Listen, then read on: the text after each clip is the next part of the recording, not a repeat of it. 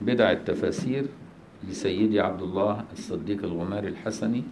كنا بدأنا فيه مرتين مجلسين واليوم المجلس الثالث فيه بعد المقدمة. دي ده رابع مجلس؟ آه ده رابع مجلس. المجلس الرابع. هيبدأ من سورة البقرة بقى علشان يشير لبعض بدع التفاسير المتعلقة بسورة البقرة وليس على سبيل الإيه؟ الإحصاء يعني.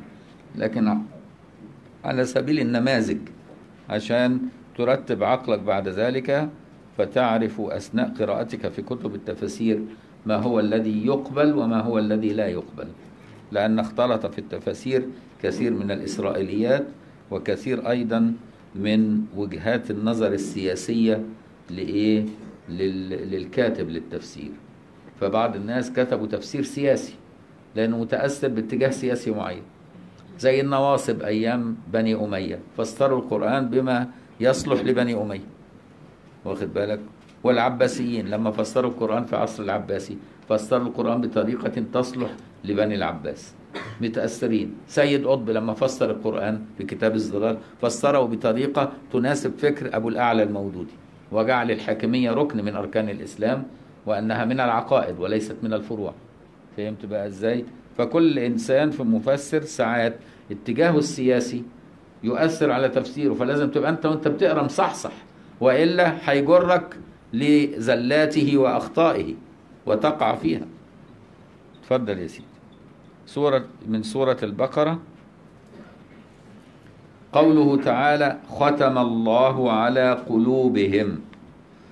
الزمخشري معتزلي والمعتزلة من ضمن ما إيه؟ أصول مذهبهم أن الله لا يفعل الشر. واجب فعل الأصلح على الله واجب عقلا إن ربنا يفعل الأصلح. فإزاي يختم؟ والختم ده ليس فعل الأصلح. فهمت؟ فعايز بقى يعبر عنها في التفسير بما يوافق إيه؟ عقيدة ال- ال- المعتزلة بوجوب فعل الأصلح على الله للعبد وجوب عقلي. كأن عقلهم أوجب على الله أشياء. فهمت؟ فقالوا إيه؟ ختم الله على قلوبهم. ذكر الزمخشري في هذه الآية وجوها من التأويل تتضمن جميعها نفي إسناد الختم إلى الله حقيقة وإنما هو على سبيل التمثيل أو المجاز وأن الخاتم في الحقيقة هو الشيطان أو الكافر. وليس الله تعالى فعل في تجافي قلوبهم عن الحق. ونبوها عن قبوله وهو تفسير اعتزالي لأنه قايم على مبدأ إيه؟ الوجوب وجوب فعل الأصلح على الله. فجعلوا الشيطان يفعل كأن بالضبط مذهبهم يقولوا إلى أن الشر له إله والخير له إله. رجعنا للإثنينية تاني. إله الخير وإله الشر زي في اليونان وإله الجمال وإله القبح وإله إثنينية ما العقيدة اليونانية كانت قايمة على الإثنينية فهمت؟ لا إحنا بقى موحدين. اللي خلق القبح ولا خلق الجمال. اللي خلق الإيمان والذي خلق الكفر. والذي خلق الموت والحياة. والذي خلق كل شيء. لا خالق سواه. ولكن يظهر ما شاء من شر على أهل الشر. ويظهر ما شاء من خير على أهل الخير. فهمت إزاي؟ فالإناء بما فيه ينضح. فإن كان في هذا الإناء قبح ربنا يظهر القبح عليه ويخلقه على جوارحه. وإن كان في هذا الإناء اللي هو القلب الخير والهداية يظهر الهداية والجمال والكمال عليه. فهمت بقى إزاي؟ ده مذهب أهل السنة لأن الفاعل هو الله في كل حال. لكن هو على أي حال عايز إيه؟ يعني شوف جعل اللي بيختم الشيطان الله جعل الشيطان فعل. أمال لا حول ولا قوة إلا بالله دي راحت فين؟ فهمت؟ أو الكافر وليس الله تعالى فعل في تجافي قلوبهم عن الحق ونبوها عن قبوله وهو تفسير اعتزالي فيه اعتساف وانحراف عن مدلول اللفظ. وأدلة الكتاب والسنة متضافرة على إسناد الختم والطبع إلى الله تعالى والأصل في الإسناد الحقيقة. والنبي صلى الله عليه وسلم يقول بعثت داعيا وليس إلي من الهداية شيء. يعني الهداية دي بإيد الله لأن ربنا قال له إنك لا تهدي من أحببت ولكن الله يهدي من يشاء. لكن وإنك لتهدي إلى يعني ترشد إلى.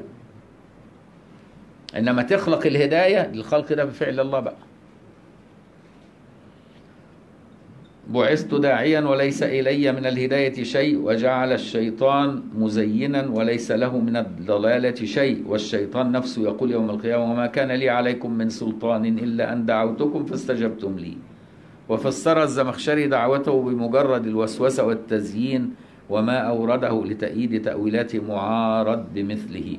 وليس غرضنا أن نقيض نفيد أن نفيد يعني نكسر في بيان المعارضة ووجوه الاحتجاج ولكن غرضنا أن نقول تفسيره هذا من بدع التفاسير لأنه تغيير لمعنى الآية وعدول عما يقتضيه ظاهرها. لتتمشى مع مذهبه وعقيدته وعشان كده ما تقراش تفسير الزمخشري وإن كان تفسير يعني لغوي عظيم. من أفضل من تكلم على الإعجاز القرآني اللغوي هو الزمخشري في الكشاف. لكن في نفس الوقت دس السم في إيه؟ في الدسم وحط عقيدته في وسطه لكن هو كان علامة في اللغة كبير. وعشان كده لا تقرأه إلا بت- إيه؟ بتقييدات ابن المنير الإسكندراني عليه. واخد بالك إزاي؟ وسماه الإنصاف من الكشاف. فما تجيبش الكشاف إلا وعليه قيود ابن المنير. فاهم قوله تعالى يضل به كثيرا ويهدي به كثيرا. قال الزمخشري أيضا. ما هو مش عايز يثبت إيه؟ الضلالة لله لأن الإضلال ده فعل قبيح. فإزاي ربنا يفعل القبيح؟ على مذهبه يعني. وإسناد الإضلال إلى الله تعالى إسناد الفعل إلى السبب لأنه لما ضرب المثل فضل به قوم واهتدى به قوم تسبب لضلالهم وهداهم. وعن مالك بن دينار رحمه الله تعالى أنه دخل على محبوس قد أخذ بمال عليه وقيد فقال يا أبا يحيى أما ترى ما نحن فيه من القيود؟ فرفع مالك رأسه فرأى سلة فقال لمن هذه السلة؟ فقال لي فأمر بها تنزل فإذا دجاج وأخبصة. فقال مالك هذه وضعت القيود في رجلك. يعني اللي سرقته في البتاع ده هي سبب وضع القيود.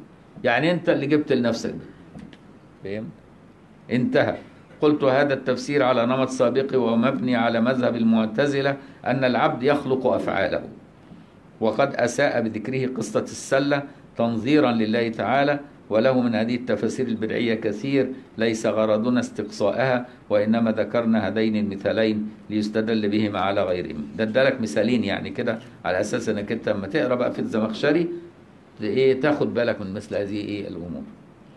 قوله تعالى وعلم آدم الأسماء كلها ثم عرضهم على الملائكة فقال أنبئوني بأسماء هؤلاء إن كنتم صادقين. معنى الآية أن الله تعالى علم آدم أسماء المسميات كلها مثل جبل وشجر وبيت وإنسان يعني اللغة وقصعة إلى آخرها من أجناس وأنواع. يعني الملائكة كانت شايفة الخلق مخلوق لكن ما تعرفش أسماء الحاجة. شايفة شجر بس ما تعرفش اسمها شجرة. وشايفة حيوانات مخلوقة لكن ما تعرفش إن ده اسمه أسد وده اسمه دب وده اسمه نمر وده اسمه فهمت إزاي؟ يعني شا... وشايفة جبال مخلوقة بس ما تعرفش إن ده اسمه جبل. يعني ما كانتش تعرف اللغة. الملائكة بس بتسبح ربها وخلاص وتعبد ربها. فلما خلق سيدنا آدم علمه الأسماء كلها يعني إيه؟ يعني مسميات الأشياء بلغتها المختلفة. فقال للملائكة طب أخبروني أنتم بأسماء الحاجات دي اللي أنتم شايفينها بقالكم سنين قبل ما يتخلق آدم قالوا له سبحانك ما العلم لنا إلا ما. فقال له أنبئهم يا آدم. فقال لهم من مسميات الأشياء بكل اللغات. فهمت إزاي؟ دي شجرة وتري ومش عارف إيه وإيه بكل اللغات كده. سبحان الله علمه كل اللغات. وعلشان كده ده دليل للقائلين على أن اللغات توقيفية مخلوقة وأن الله خلق اللغة. واخد بالك؟ وجعلها دلالة على الإيه؟ على الصفة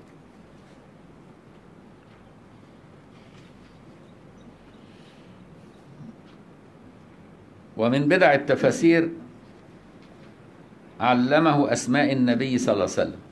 في بعض الناس بقى في بدع التفاسير قال لك إيه؟ علمه الأسماء كلها يعني أسماء النبي. طب ما أسماء النبي من ضمن الأسماء كلها. وليه عايز تخلي بقى الأسماء كلها هي أسماء النبي بس؟ فهمت فدي يعتبر تقييد لما لا يقيد.